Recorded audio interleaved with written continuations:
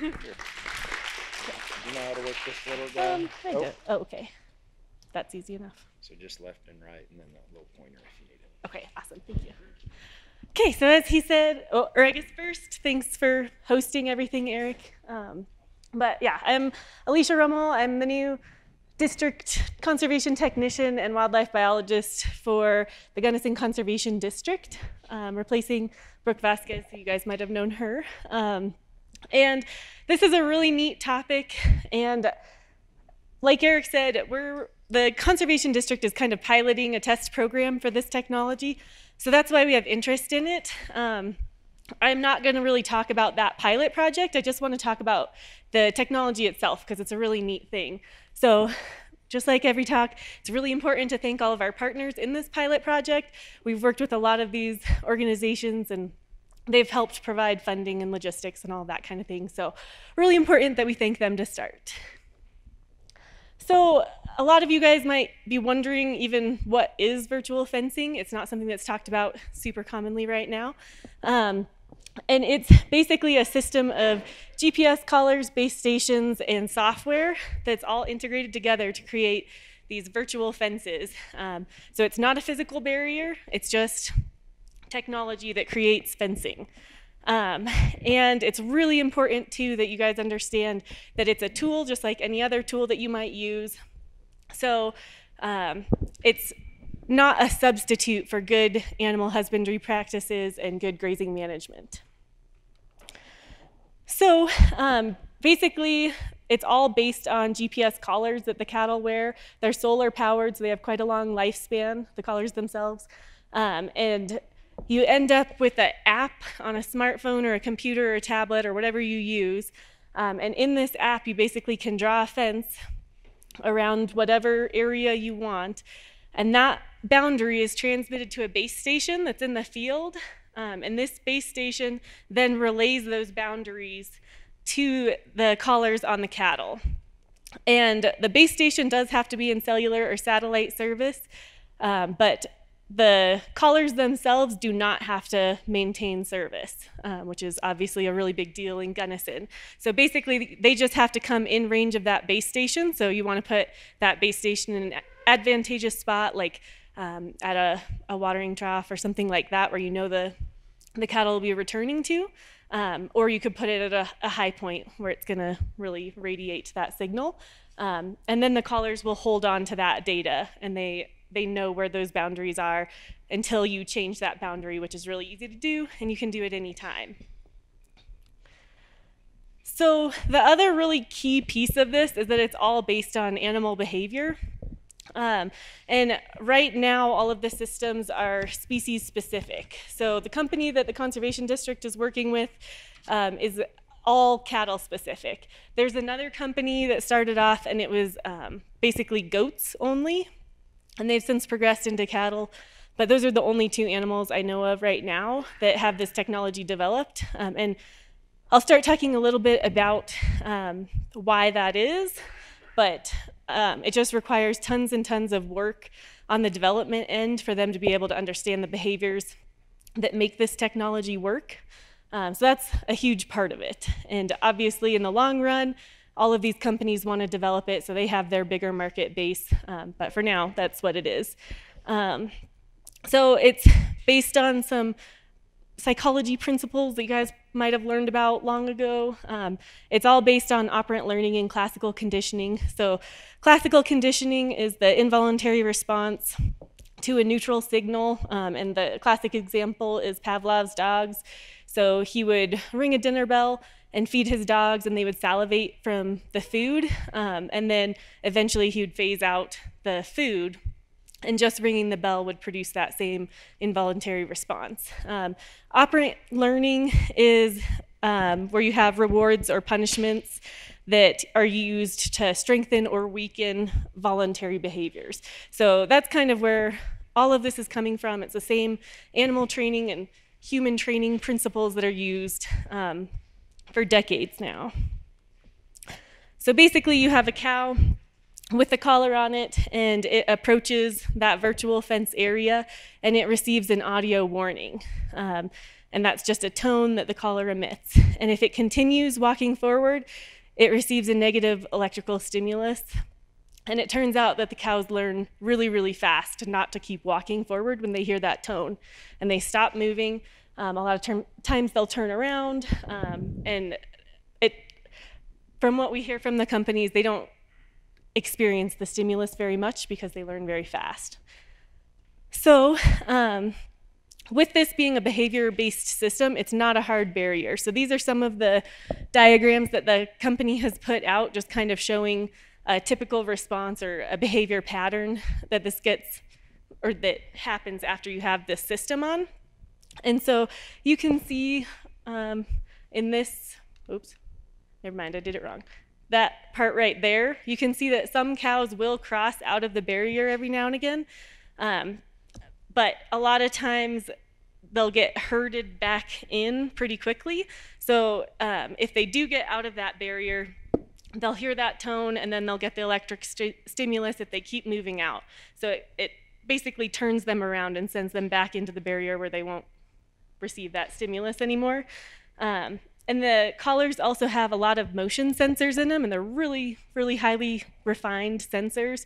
So, um, one of the ways that a, a, cow might get out of the system is if it's running, and the company has programmed them where a cow won't get shocked if it's if it's running and panicked. It will only receive that stimulus once it stops, and then it moves forward because they don't want to promote panicked livestock. so, um, yeah, it herds them back when they're when it's appropriate to do so. Um, and it's really awesome that they have so many motion sensors in the um, in the collars. And at this point, they're working on or have completed um, different sensor detections, I guess, um, so they can tell if the cow is walking or running or sleeping or ruminating or calving or limping or it's dead. And there's a bunch of other possible behaviors that they're working on tying together with the data. So this is one of the reasons that it's species specific right now, um, because as you can imagine, these motion sensors have um, numerical data that's output, and it takes hours of video observations of the animals and pairing that with that numerical output. So it just takes a lot of time on the development end to be able to appropriately pair that. So probably a lot of people have already started thinking about how could I even use this. Um, and there's tons of uses on a ranch system. Um, so one of the most obvious ways to use it is to protect sensitive areas. Like if you have a riparian habitat that you don't want the cows accessing at all times um, on the entire stream reach, that would be one way that you could use this. Or if you have like some bird nests like for Gunnison sage grouse that you know about and you want to protect those areas, you can fence them out of those. Um, pasture subdivision is probably the most common use of this system. So if you have a big gigantic allotment with no internal fencing, then you can use this system to either do rotational grazing or strip grazing or any other number of um, grazing systems with this without having to build physical fences which, as Danny talked about, that's a huge issue for wildlife. Um, and there's tons of time and energy and money that's spent on maintenance, and you could avoid it with this. And if you're using temporary fencing, like electric fencing, you don't have to put that up and take it down all the time. You don't have to use range riders to make sure they're not getting out of the fencing. So it just eliminates a lot of, of time and money and effort spent on physical barriers. Um, also, because of those location sensors and the GPS data that comes from these collars, um, you always know where your cows are and what they're doing, which obviously would be a huge benefit for especially certain times of year, um, but it's just a really handy tool. You can also use that data to see if cattle are concentrated in certain areas. So if they're always in one spot. There might be some overutilization and some degradation in that area. So you might be able to use this system to fence them out of that temporarily and let that spot recover a little bit. So that's another way you could use it. Um, tying into the, the water hemlock, if you know that there's a patch of it somewhere, you could just fence them out of there. That would be another use of this without having to put up that physical barrier. Um, another thing that this is kind of advertised to do um, is to reduce water quality concerns. So if you have an area that's got really good forage but really wet soils, you might have cows coming through there and causing some hoof, she- hoof shearing and some hummocking. Um, and so you could fence them out of that area, especially while the soils are wet, and then let them flash graze it later on in the season. So, tons and tons of applications. I'm sure there's many more that we haven't even talked about or thought about, but that's just a brief idea.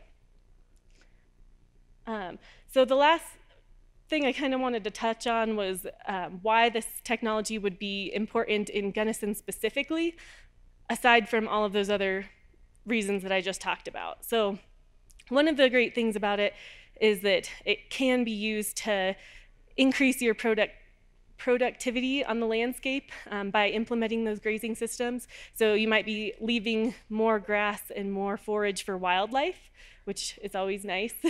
um, another big project that's been going on for the last seven years or so is the Wet Meadow Restoration and Resilience Building Project, which is facilitated through the Gunnison Climate Working Group. Some of you guys might be familiar with this, but it's basically um, very um, low input, like it's basically a, a structure made of rocks that holds more water in a ephemeral stream. So it increases the water table in that area. There's greater soil saturation and it improves the wetland species cover and diversity in that ephemeral stream reach. Um, so this makes really, really great forage. Um, there's lots of increased use by cattle and wildlife. And again, it has those wet soils, and so there can be some hummocking, and that can cause damage to those structures, which makes them less effective overall. So you could use this fencing system to um, keep the cattle off of it for the times when there's really saturated soils. Um, also in the Gunnison Basin, I'm sure you all have been here long enough to notice that recreation is um, pretty large these days, and there's a lot of people out. Um, if someone was grazing in an allotment that has high recreation pressure, they can use this system to reduce that conflict by keeping the cattle out of the high use areas during the peak times, but they could still use those areas when it's not a peak time, like a Tuesday or Wednesday or whatever, um, when they feel like there's less pressure there. Um, and that's also good for the cattle too, because it reduces their chronic stress levels, which obviously would be beneficial. Um, and the final reason to work in Gunnison with this system is the excellent partners that we have.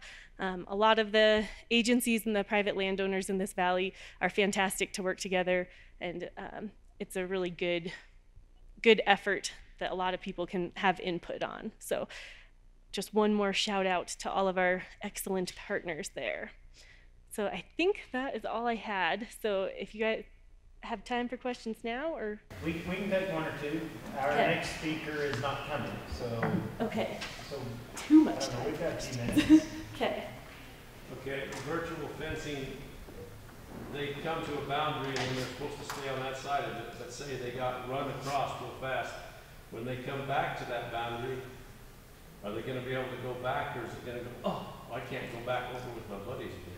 Good question. It's a single direction fence. Yeah. So if if this is the boundary right here, and I cross through it, um, I will have received an electrical sorry, I will have received an electrical stimulus from crossing that. But say I'm panicked and I didn't, so I come all the way over here. It will give the audio tone, which I will hopefully stop at that point. But if I don't, um, I take one more step. Now that I'm calm, I'll receive that tone and the stimulus. I'll most cows apparently will turn right around um, or they'll change direction or whatnot. They'll at least stop moving um, and it will continue to give me a tone like if i am still not moving back towards the boundary. And so as soon as i come back this way then it won't give that tone or the stimulus and i can cross back in. And then if of course if i turn it does the same thing again. Okay. Any other questions yes What's the cost? that's a good question. um, of course, it would depend on what company you're working with. Um, and the collars themselves are not terribly expensive, but again, this is all really developmental, so it's hard to say what the final cost will end up being. Um, the cost per collar is about $200, a little bit more than that, but not much. Um, it's the software system that they use that really increases that cost. I believe the base stations are 1,500 or so. Um, so the startup fee is fairly significant depending on how large your herd is. Um, but that's why it's so wonderful that we have so many partners and so much interest in funding this kind of stuff. So, yeah. So uh, using multiple base stations, can this be programmed as form of mosaic map rather than just distance from the base station? You at? I think so. So, yeah, you could have, if you have like a really hilly terrain, um, you could have one up high and then you could have one down by the water trough and or water of whatever type. And anyway, you can have them arranged in certain ways so that they're always coming um, within reach of one of them. There's they're also working on developing kind of a mobile base station. So say you're and again, this is all based on which company you would work with and that kind of thing. But they're working on developing something where um, if your cows are moving, say, up in elevation as the season progresses, then you might have something that sits in the back of a wagon that you can pull, or a trailer that you can pull up the hill as they move up the hill. So, yeah, there's lots of development, but you can have kind of a network of base stations. So your base station has to move up the mountain with the cattle? Not necessarily. It just depends on where it's placed and what kind of coverage it gets. How So- far away from the base station can your cattle be? I would have to check back with the company, and, and I'm not sure off the top of my head what that is. I think ideally you're trying to put it in an area where it's going to cover the general area, but obviously in Gunnison that's that's the question, and that's why we're a test area because of this this topography that we have here. um, but if you can put it somewhere that you know the cattle are going to come, that's a really key thing. So if you do have limited water sources, that's a fantastic way to make sure that the cattle are going to come in, in range of the base station. We have limited water sources, but we have limited access to Yeah. computer. Yeah. So that's um, the thing that's really awesome about this is the base stations have to have cellular or even satellite service, which a lot of Gunnison does have at least satellite. Yep. So as long as you have a computer at your house, you don't even have to bring it in the field. Um, it can download that data from your house. Or come to the extension office. Yeah, or the library, or yeah, yeah. There's lots of different options. Any other questions? It, it does go like several miles. Yeah, it's far. I just don't know the number off the top of my head. So I don't remember exactly, but It was several miles. Ten miles or something like that, so you put it on, yeah, on, Traveling cows that don't want to come home. exactly. yeah, and that's the great thing about it too is you would have that GPS collar location. So if you know that it's traveling, you'd see where it was. It costs for over a thousand dollars, if you have a thousand head of cattle, that costs is gonna astronomical. yeah, And I don't And think the- a lot of people can afford that. yeah, and that's why there's a lot of partners that are working together on this. So don't see mine.